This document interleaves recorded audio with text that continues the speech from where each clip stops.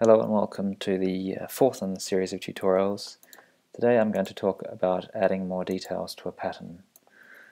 So I'd like to start by showing you uh, a kind of line that is a little bit different from the others which is an internal line. So with a piece selected you can double click on the piece and you can create a line just like you would in the application normally. The difference is that this line uh, while being able to be manipulated itself will actually move with the piece when you move the piece. So if I move that piece, the line moves with it. However, I can move that line on its own.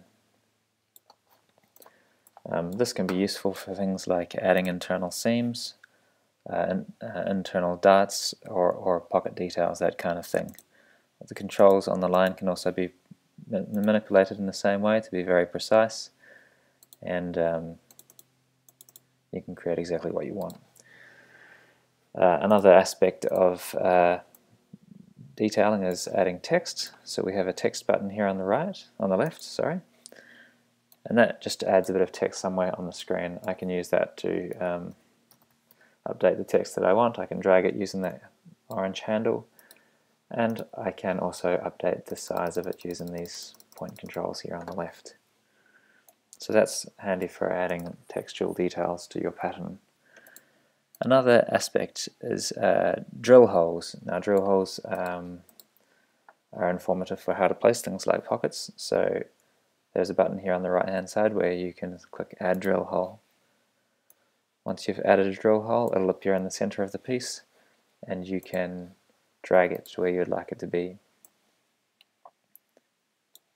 Drill holes can also be placed using these precise controls, just like everything else in Pattern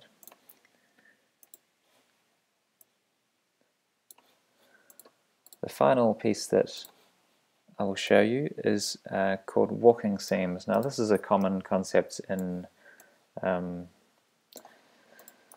in uh, software for pattern making is the ability to verify that seams actually match up. So for the example I'm going to add a notch to that line and I'm going to add a notch to this line and we're going to ensure that those two notches line up on that shoulder piece there. With that line selected I can click the walk button here and then I click the it gives me instructions, select the seam to verify against and I click the, the other seam that I'd like to, to walk against. That aligns my piece and you can see that it starts um, rotating against its walked seam.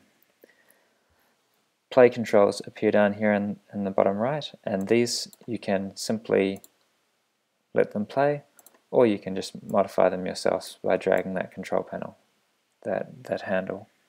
I can see that my um, uh, uh, my notch there is definitely in the wrong place, so I'm going to move it along the line using these controls here. The AC control is saying that it's going to move it closer towards that point, because that point is labeled AC. This point is labeled AA, so my controls here allow me to shuffle between AC and AA to, to press precisely place it where you want. Deselect all that and I can see that I have my uh, notches in the right place now. But I can also see that my uh, line here is a little bit shorter. So I'm going to make that a little bit longer. And just for the sake of it I'm going to um, make it precisely 21 centimeters. And this one as well I'm going to make 21 centimeters. Now I can know that my lines are exactly the same length. My notches are in the right place. So I know my, my seam is, uh, is good. When I'm done, I can click the Done button here, and that will uh, put the piece back in its original place, but with the changes we've just made. That's how you can uh, add details and verify seams in Patternade. I hope that was helpful. Thanks for listening.